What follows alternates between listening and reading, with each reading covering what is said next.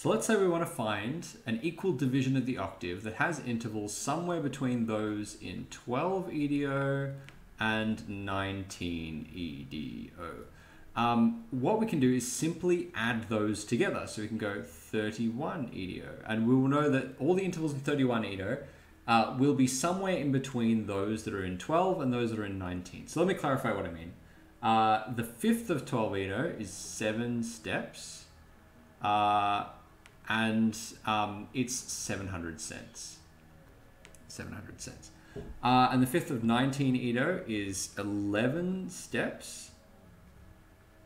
Uh, and it is 1200 divided by 19 times 11, uh, about 694, 694.7 uh, cents. So this is this is the um, the the pitch uh, of it. Um, and so we want we want to essentially say, okay, so um, seven steps out of 12 Edo and 11 steps out of 19 Edo. We've added the Edos together, so we add the number of steps together. That will give us uh, 18 steps. Uh, and 1200 divided by 31 times 18 is uh, 696.8 cents. And so we've got a fifth now. We've got a, a new tuning with a fifth in between those two. Um, and that's because what we're doing uh, by adding them together is taking the median. So we've um, added together, pick another color, uh, we've added together the 12 and 19, which are like our denominators um, of, of this sort of fraction that we're taking. It's, it's not um, it's not exactly a fraction so much as it is um, parts of the, the logarithm. Um, but, but essentially, because we're saying seven steps out of 12 plus 11 steps out of 19, we're adding the tops and adding the bottoms. We're not adding the fractions, we're just adding the tops and adding the bottoms, which is giving us an average. It's giving us an average um, interval. It's not a frequency interval. Uh, it's important to point out that this is a logarithmic interval. This is a, a um, uh, an interval in cents, but essentially we're just averaging these out. Um, not a normal average, it's a median average, but um, it's a really easy average to do, and it's it's given us a, a new equal temperament with um, a, a, new uh, number of steps for a new fifth that is in between these two, um, which is really handy. So uh, you know we, we found an equal temperament which is in between these two simply by adding them together, and we can get any interval that's in between um, you know, this interval out of 12 Edo and this interval out of 19 Edo just by adding the number of steps together. Um, and we can go further. So uh, let's take uh, 12 Edo, 12 Edo, um, and say we want to add something like 7 Edo to it. So 7 Edo. So we know that uh, 7 Edo has a flat fifth um, but it has seven steps in it. So we know that it's going to retain that sort of diatonic quality.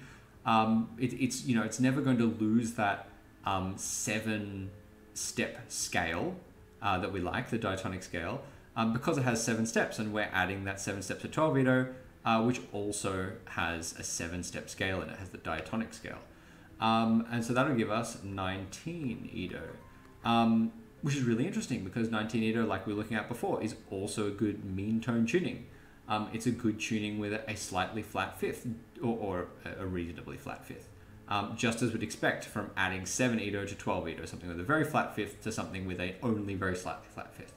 Um, we could add another 12 Edo back to it again uh, to get 31 Edo.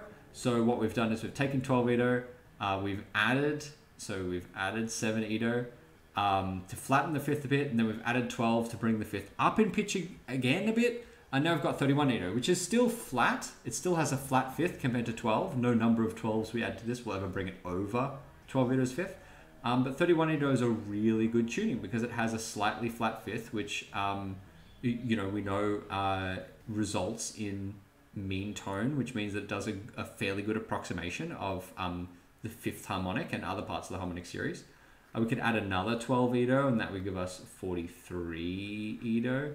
Uh, we could add another 12, and that would give us 55 Edo. So these are um, essentially mean tone tunings that have progressively sharper fifths. And so by adding 7 Edo to 12 Edo, we created this chain of mean tone tunings um, that we can adjust by adding um, different diatonic uh, equal temperaments like 12 Edo or 7 Edo too. Um, you know, we could add another 7 Edo to 19 Edo to make the fifth even flatter, so 26 Edo, which is still mean tone, but um, it's very flat, and so it has a bit of a different character. Um, but you, you know, uh, from there we could go say add another 7 Edo to 43 uh, and get 50 Edo. Um, and 50 Edo and 55 Edo um, are both uh, historically quite important tunings that are worth looking into. Um, the, you know, they're historically quite interesting um, mean tone tunings. Same thing with 31 Edo because uh, it's um, essentially almost exactly quarter comma mean tone, which is um, a historically very important tuning that was used a lot in um, European classical music. Um, you know, and, and so we could also add five Edo uh, to make the fifth sharper of 12 Edo instead. So 5 Edo has a sharp fifth, uh, and that'll give us 17 Edo. Um, and, and we could make the fifth sharper again by adding another 5 Edo to get 22 Edo. We can make it sharper again by adding another 5 Edo to get 27 Edo. And these are um, very like very popular, famous um, super pyth. Super pyth. That's worth adding here. This is um, our spectrum of mean tone tunings. So mean tone.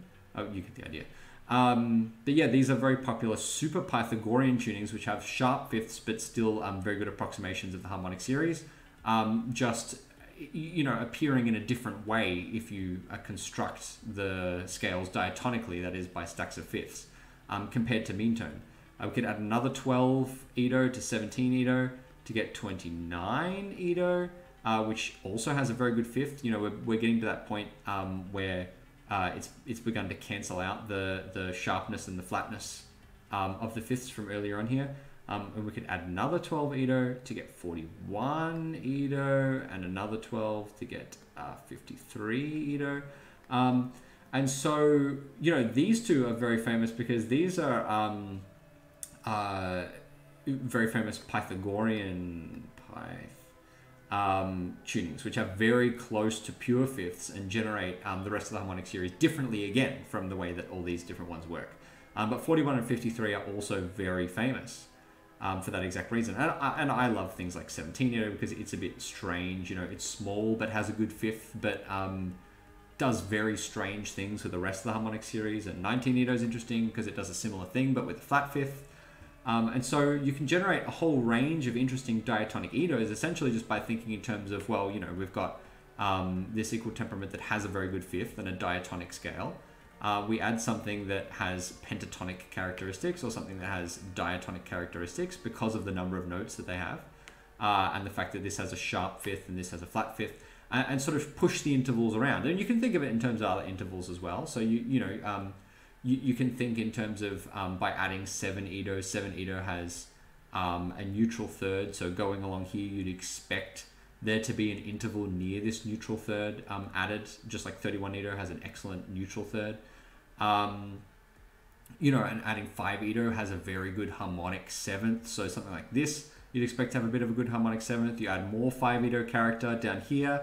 So these two have very good harmonic sevenths because um, well, not because, but um, it can be thought of as being derived from adding this 5 Edo character to them. Um, these have very good fifths because they can be thought of as having the excellent fifth of 12 Edo plus uh, a very slight sharpness from 5 Edo, but averaged out over a whole bunch of 12 Edos. Um, you know, giving you that very slight sharpness you need to cancel out the very slight flatness of 12 Edo. Um, uh, uh, uh ge- generating these um, very important Pythagorean, um, very you know well-tuned perfect fifth or um, third harmonic tunings. Um, and so you can see how just using this technique of adding um, and subtracting, if you want to move back down and um, cancel out what you've done uh, and move in the opposite direction, but essentially just adding different equal temperaments together, giving you a whole spectrum of related equal temperaments which you can relate to each other by saying, okay, so you know Um, 31 Edo has uh, a lot of similar character to 12 Edo with a little bit of the flat fifth character of 7 Edo. Um, it relates to, to 19 Edo. Um, it's, you, you know, uh, or, you know, with a, a, sharper fifth, just like 12. Um, if you subtract 5 Edo, you get to 26 Edo. So you could say by removing some of the 5 Edo characteristics, like the sharpness of the fifth, um, from 31 Edo, uh, where, where, where we push it um, a, uh, flatter, we push the fifth flatter towards 26 Edo. Um, and I'm talking in terms of fifths because they're very easy to talk about and understand, but you can really think in, in um, any interval here. Um, but yeah, hopefully this is a, a useful tool for you to um, understand how to relate equal temperaments together, how, um, how, how to uh, find sort of um, which ones will have similar intervals um, or access to similar scales um, just by adding them um, together or subtracting them. Um, make sure to like and subscribe if you enjoyed this, uh, and um, I'll see you next time.